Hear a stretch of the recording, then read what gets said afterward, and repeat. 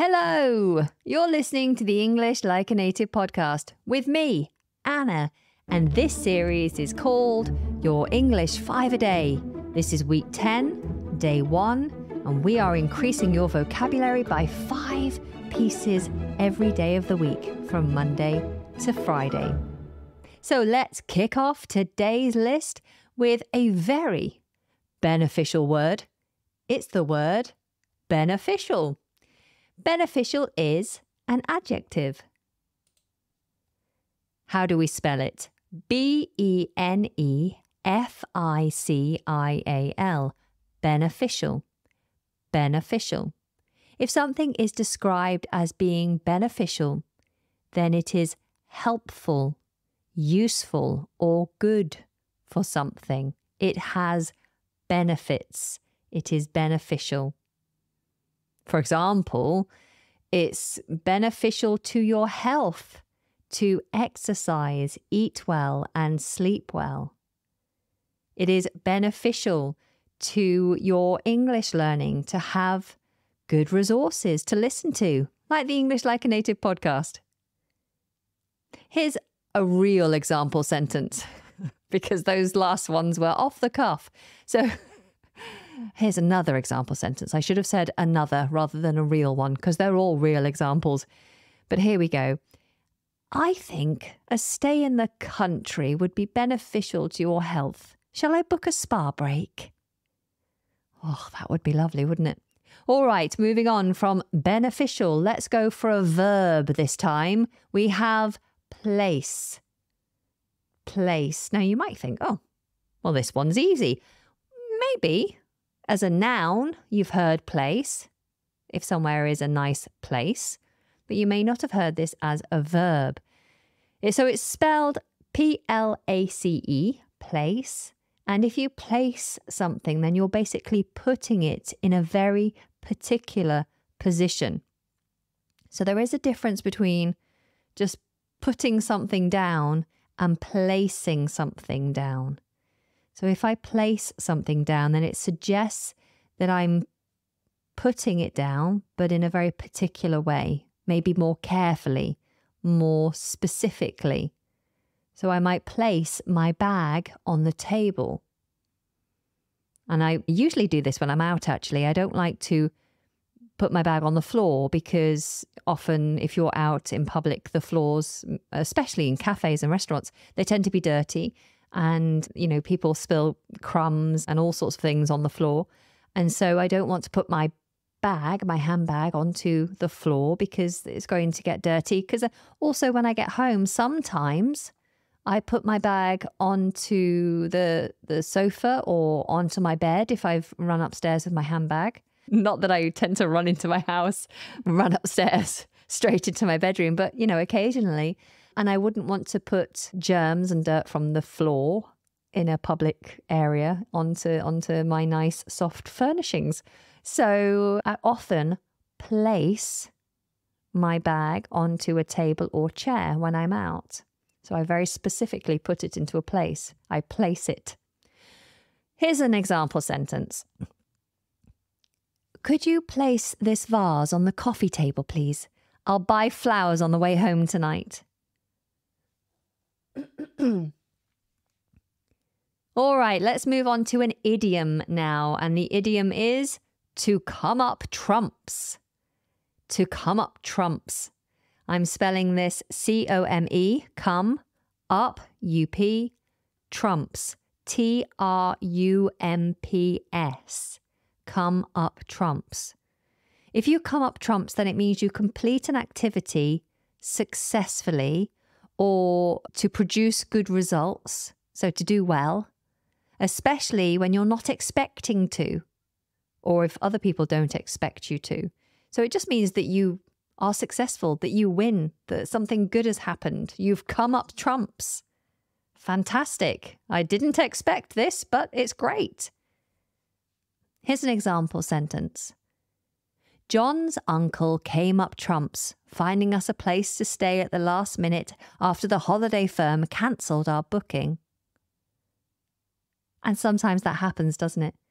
Something bad or seemingly bad happens. like your holiday has been cancelled by the holiday operators. They say, I'm really sorry. We've had to close the hotel.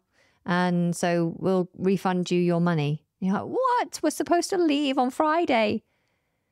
And it seems like a terrible thing. But then because everything is rushed and last minute, suddenly you find an amazing deal because it is last minute. Something you would never have expected comes up. And you're like, book it. We're going to go and stay in that five star hotel for half the price. This is amazing. And so something good happens unexpectedly. You come up trumps. Next on our list is the phrasal verb go for. To go for something. This seems very simple, but I'm going to spell it for you anyway, just in case you've misheard me. This is two words go, G O, for, F O R to go for something. If you go for something, then you attempt, you try to get it. You try to gain it or attain it. So you cannot separate this phrasal verb. It always has to be go for something. You'll often hear people say, go for it. Go for it. Go for it.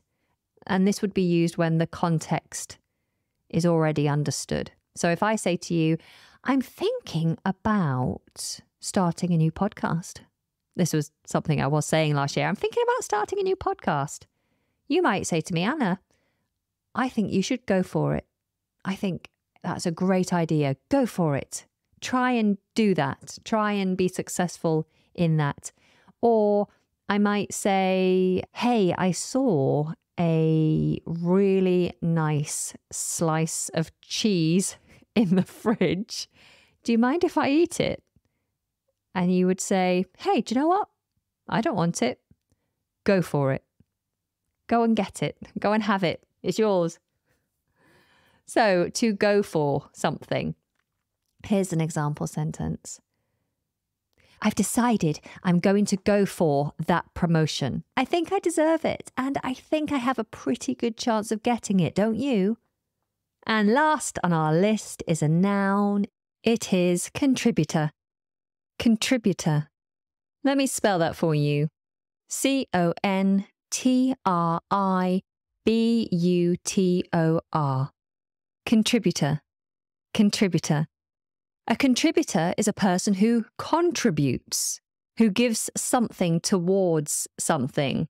So if you contribute, it means you're giving something like your time, or you might be giving money. This is usually used in terms of money in order to provide or achieve something together with other people. So, for example, if we as a community wanted to raise money for some people who really needed it. So let's say there has been um, a terrible disaster and there are a group of children who um, have been orphaned and they desperately need our help. I might say to you, as my wider community, hey guys, let's all put in a little bit of money and see if we can raise a large amount of money to help these children. And you all say, yes, let's do it. And so everybody gives a little bit of money.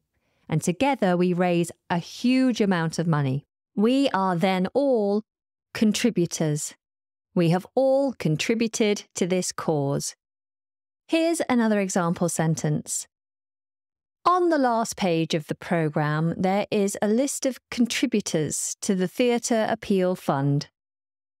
Okay, that's our five for today. Let's recap briefly. We had the adjective beneficial, something that is good for you, that's helpful or useful. We had the verb to place, meaning you put something in a particular position. We had the idiom to come up trumps, which means to be successful or have a good result, which was unexpected. We had the phrasal verb go for, which means to attempt to get something or achieve something. And then we had the noun contributor, someone who gives something as part of a wider group of contributors in order to achieve something bigger together. So now let's do it for pronunciation. please repeat after me. I'll give you each word twice. Beneficial. Beneficial. Place. Place. Come up trumps. Come up trumps. Go for. Go for. Contributor. Contributor. Very good. Okay, let's bring all of those together in a little story. Question mark. This is a diary entry, not really a story, but you know what I mean.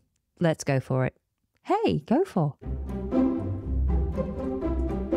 Dear Diary, Today is the big day. I've decided to go for the promotion at the advertising company.